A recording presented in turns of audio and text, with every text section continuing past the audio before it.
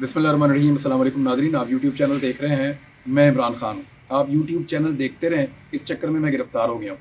और हुआ ये है कि सारी सूरत मैं आपके सामने रख देता हूँ, क्योंकि जब ये वीडियो आप देख रहे होंगे तो फिर मैं गिरफ़्तार हो चुका हूँ और अगर आप ये वीडियो नहीं देख रहे तो फिर मैं गिरफ़्तार नहीं हुआ। गिरफ़्तारी की वजह क्या है, मैं चीज़ें आपके सामने रख देता हूँ। जब से रिजीम चेंज ऑपरेशन हुआ, तब से लेकर अब तक मैं कंटिन्यूसली आपको ख़बरें दे रहा हूँ। मैंने चार मरतबा अपनी नौकरी गंवाई है। मुझे बहुत दफ़ा धमकियाँ दी गई हैं, बहुत दफ़ा ख़तरनाक नतज के बारे में आगाह किया गया है, बुलवाया गया है, मैं मिलता भी रहा हूँ लोगों से, और लोग इस तरह की अजीबो गरीब चीज़ें कहते भी रहे हैं मुझे। हर तरह की कोशिश की गई है। ये भी कहा गया कि आपके केसेस भी ख़त्म हो जाते हैं, आपके मामला को रिजॉल्व कर देते हैं, आपकी नौकरी का बंदोबस्त कर देते हैं, लेकिन इसके बदले में आप अपना मौक़ तब्दील कर लें। लेकिन रजीम चेंज ऑपरेशन के बाद से लेकर अब तक मैंने अपना मौक़ तब्दील नहीं किया। और अपना मौक़ ना तब्दील करने की मैंने बार बार सजा काटी है। मेरे घर की दीवार की बैक साइड पे मेरे अम्मी अबू के कमरे के पास लाकर बंदा गोलियाँ मार मार के इन्होंने मारा, ताकि वो चिल्लाता रहे और हमारे घर के अंदर खौफ फैले। कभी ड्रोन भेज देते थे, कभी मेरा घर गिराने के लिए मशीनें भेज देते थे। हमारा सारा कारोबार बंद कर दिया। मेरे भाइयों को हरासा किया, मुझे हरासा किया, मेरी फैमिली को हरासा किया और फैमिली को नुकसान पहुँचाने की धमकियाँ भी मुझे दी गई। और अभी भी जब इमरान खान साहब को गिरफ़्तार किया गया तो मुझे पाकिस्तान से बाहर जाना था और मैंने अपने जाने का प्रोग्राम फौरी तौर पे कैंसिल किया था। ये सोच करके पाकिस्तान में हालात कुछ बेहतर हो जाएँगे तो उसके बाद मैं पाकिस्तान से बाहर जाऊँगा। लेकिन बजाय इसके कि कवरेज करने दी जाती, बजाय इसके कि बात करने दी जाती, पूरे पाकिस्तान में इंटरनेट सर्विसेज़ बंद कर दी गई हैं। मैं पिछले दो दिनों से मुख्तलिफ़ इलाकों में घूम कर अपनी वीडियोज़ रिकॉर्ड कर रहा हूँ। कभी कहीं से रिकॉर्ड करते हैं जाके, कभी कहीं रिकॉर्ड करते हैं जाके अपलोड कहीं और से करते हैं। तो यहाँ पे इंटरनेट की फैसिलिटीज़ भी मौजूद नहीं है और, दरबदर होकर हम अपना काम कर रहे हैं। दरबदर होने की वजह यह है कि हमारे घरों पे छापे मारे जा रहे हैं। मैं और मेरे साथी सिचुएशन को फेस कर रहे हैं लगातार। मेरे घर वालों को हरासा किया गया है। मेरे घर को दो मरतबा घेरा गया है और कोशिश की गई कि मुझे अरेस्ट कर लिया जाए। मैं ये चीज़ें इससे पहले वीडियोज़ में आपको इसलिए नहीं बता रहा था कि और बहुत बड़ी खबरें हैं जिनके बारे में मैं बात कर रहा था।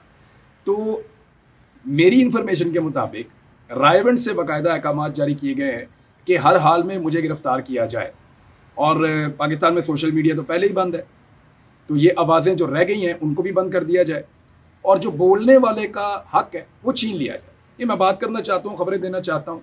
और फिज़िकली तो मैं चीज़ें नहीं कर रहा, लेकिन मैं अपना एनालिसिस करता हूँ, ख़बरें देता हूँ।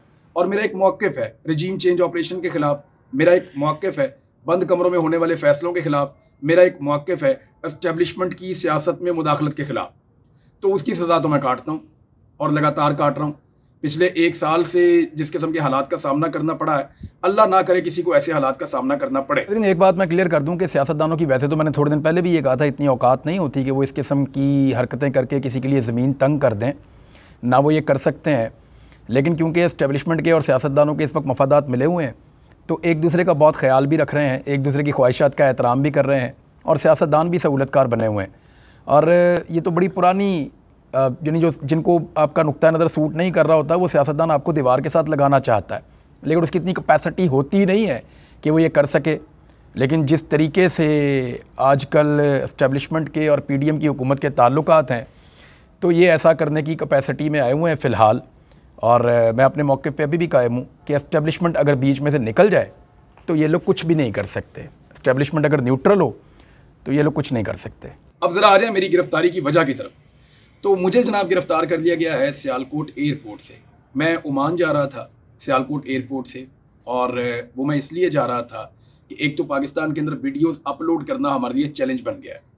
पुलिस और मुख्तलिफ़ लोग जो हैं वो हमारे पीछे लगे हुए हैं, और कुछ कानून नाफिज करने वाले ऐसे इदारे हैं जो यूनिफॉर्म में भी नहीं हैं, वो भी हमारा पीछा कर रहे हैं।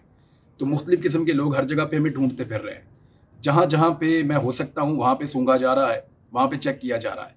और अभी तक तो मैं गिरफ़्तार नहीं हुआ, जिस वक्त मैं ये वीडियो रिकॉर्ड कर रहा हूँ। लेकिन जब आप ये वीडियो सुन रहे हैं तो मैं सियालकोट एयरपोर्ट से उमान जाते हुए गिरफ़्तार हो गया हूँ और उसकी वजह यह है कि मैं बात करना चाहता हूँ, बोलना चाहता हूँ। हमने जब मशवरा किया, मैंने अपनी टीम के मेंबर से, बाकी दोस्तों से मशवरा किया और बहुत सारे लोगों ने मुझे ये मशवरा दिया कि आपको बोलना ज़्यादा ज़रूरी है। फ़िज़िकल अपेयरेंस से ज़्यादा ज़रूरी है कि आप बोलते रहें, आपकी आवाज़ पहुँचती रहे, आपके ज़रिए से ख़बरें मिलती हैं, आपके ज़रिए से इंफॉर्मेशन मिलती है। लिहाजा इन्फॉर्मेशन के हसूल के लिए आपका बोलते रहना ज़रूरी है। और अगर पाकिस्तान में इसी तरह इंटरनेट बंद रहता है या गिरफ़्तार कर लिया जाता है तो फिर आप बोल नहीं पाएँगे। और इसके बाद प्रोपेगेंडा किया जाएगा कि शायद मैं गिरफ्तारी अवॉइड करने के लिए पाकिस्तान से बाहर जा रहा था। तो प्रोपेगेंडा वो लोग करेंगे जिनका लीडर पाकिस्तान से भागा हुआ है, चार साल से वापस आने का नाम नहीं ले रहा। उसके भाई की हुकूमत है, इसके बावजूद वो पाकिस्तान वापस नहीं आ रहा। और जहाँ तक गिरफ्तारी अवॉइड करने का मामला है तो पिछली मरतबा जब एयरपोर्ट से मुझे रोका गया तो मैंने खुद पूछा था एफआईए से कि क्या आप मुझे गिरफ़्तार करेंगे? तो उसके बाद फिर मुझे गिरफ़्तार किया गया था और मैंने किसी किस्म की मजामत नहीं की थी, बल्कि मैं बहुत कॉपरेट करके उनके साथ चला गया था। ये एफ़ वाले आपको गवाही देंगे। और इसके अलावा जब पुलिस मुझे गिरफ़्तार करने आई तो उस पुलिस वाले ने भी जिसको मैंने गिरफ़्तारी दी थी, हालाँकि मेरे पास वहाँ पे ज़मानत मौजूद थी, अदालत ने मना किया हुआ था इस्लामाबाद की प्रेमिस में, लेकिन मुझे वहाँ से गिरफ़्तार किया गया। जब मुझे गिरफ़्तार किया गया, वो पुलिस वाला आज भी गवाही देगा। उसने कहा था, मैं आपको कहना चाहता हूँ कि आपने बड़ी दलेरी से और मर्दानगी से आपने गिरफ्तारी दी हमें डर था कि आप अपनी गाड़ी को लॉक कर लेंगे। मेरी गाड़ी जो है वो आर्मड गाड़ी थी।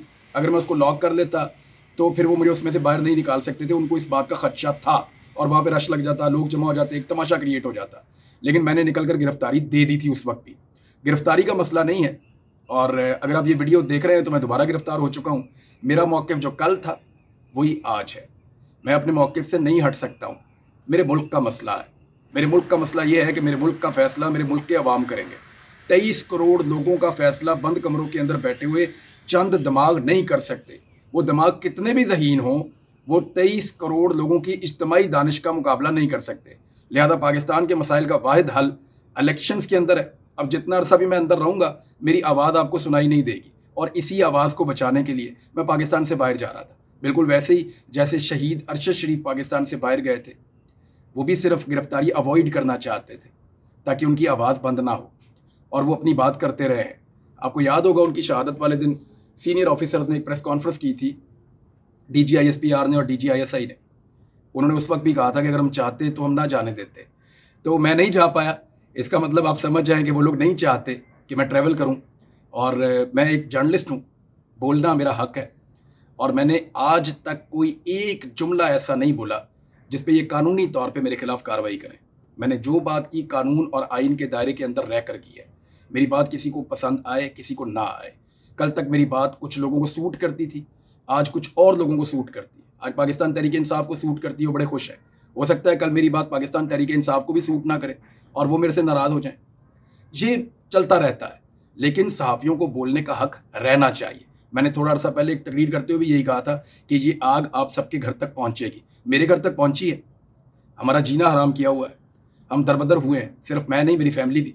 और हालात यहाँ पे पहुँचे हुए हैं कि मुझे पाकिस्तान छोड़कर जाना पड़ रहा था, जिस वक्त मुझे गिरफ़्तार किया हुआ है। और याद रखिएगा, मैं पाकिस्तान से तीन मरतबा पहले भी बाहर गया हूँ।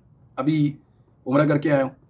मुझे अलहमदिल्ला मुझे सारी फैमिली कह रही थी कि पाकिस्तान वापस मत आओ, मैं वापस आया। मैं दुबई गया था।